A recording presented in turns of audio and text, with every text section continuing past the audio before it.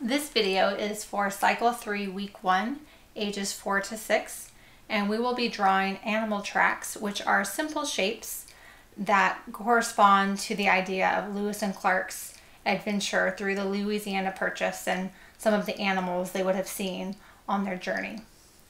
To begin, we want to start defining some of the words we're going to be using as we describe the shapes that we see. So each student will have one of these papers and it talks about the different um, components of the oils, which is O, I, L, and S, and each one stands for something. So students, this might be a new concept for them, but really essentially it's also for parents so that when this paper goes home, the parents know the different definitions of these concepts. We want to start teaching about each one of these and what it means. So on the whiteboard, you're going to be doing examples and the students will do them on their paper. The only one I'm going to define today is the circle, which is the O. And a circle is a shape that is round and connects from beginning to end. It's enclosed, where a line begins and ends at a different point. So when we talk about circles as far as oils, it can be a circle like this in its normal sense, but also it can be any sort of shape that has a beginning and end in the same place. So this would be in the circle family. And that's important for us to show students today because as we draw shapes, they're not going to be perfect circles like this. They might be oddly shaped things, but as long as they close in a shape, it belongs in our circle family. So you and the students would draw examples of the different oils on that paper. And then the students will get a paper like this. And it has different animals that Lewis and Clark would have seen on their journey through North America. And we'll be practicing our drawing skills by drawing the animal tracks. And part of the fun part is that the students get to guess about which track goes with, with which animal. So they're going to have this at their table with their pencil, one per student, and you will be at the whiteboard. So first you want to tape up the first one, and you can ask the students which animal they think this track goes with. And down at the bottom, very small, I wrote the answer for you, which is deer, and probably the students won't be able to see that from far away. I wanted to have it small so they couldn't decipher which track it is. Now we get to begin to decode the shapes and the sizes and the placement that we see here.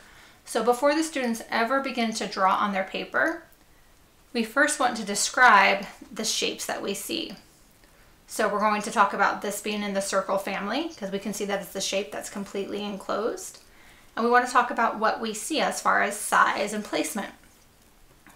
So when I draw this, I want to start at a starting point. I'm going to choose the top. And I would be talking through to the students what I'm drawing as I go. And I can see that the shape goes out to the side a little bit and it's very, very long. So I want to make sure that as I draw, I go out to the side a little bit and I go down because it's very long. Now you can ask the student, well, what happens next? Look at the shape and begin to describe what happens. And it curves to the side. How much? A lot? Mm, a little bit. Then they can tell you it goes up. Yeah. Now what happens? If they can see it, they might be able to see that it kind of goes in a little bit. And it goes back up to the top where it gets skinnier at the top. So we want them to be as careful of observers as they can be and be able to really look closely at all the nuances of that shape. And then what happens over here? The same thing happens, but it's on the opposite side and they have to again tell you what to draw, begin to describe what they see and be able to tell you what to do there. On their paper, they get to then draw it as well. And you get to ask them which animal they think it goes with, and it's the deer. So they can then take their pencil and their paper, continually look at what they are studying and drawing. So they should be looking back up here at the board to be able to then draw that shape. And then they would study the next one and draw that shape. And if they wanted to practice more, they could do like a set of um, hoof prints right here next to the deer. They can practice as many times as they need to. Of course, this one is the simplest. We started with the most basic track, but it's going to get a little bit more complicated as they go, but it's the same process. The next one I would do would be the jackrabbit. You can see that this is somewhat similar to the deer in that you have these long circle type shapes, but they even have some more interesting things going on there. And then they also have some more shapes down here at the bottom. So I would do the same thing. I would ask the students to first describe the shapes that they see so they get to tell you and define all the different parts of it. And then you would get to walk through and tell them what you're doing. Like, okay, I'm to start at the bottom here.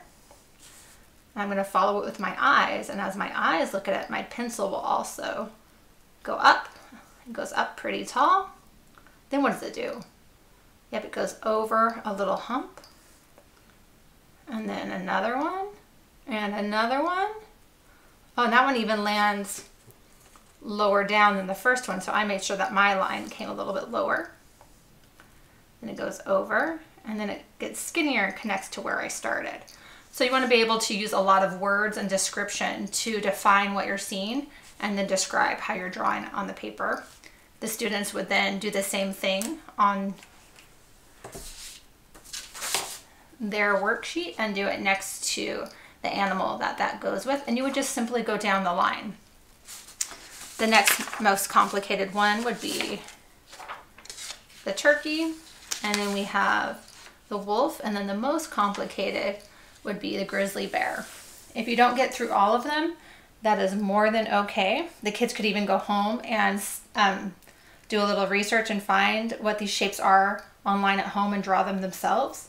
Or if they finish really early, just give them colored pencils and allow them to color in the animals and the tracks on their paper. So depending on the age and ability of your class, you might end at different places. But overall, the main concept is for them to be able to study and describe the shapes that they see.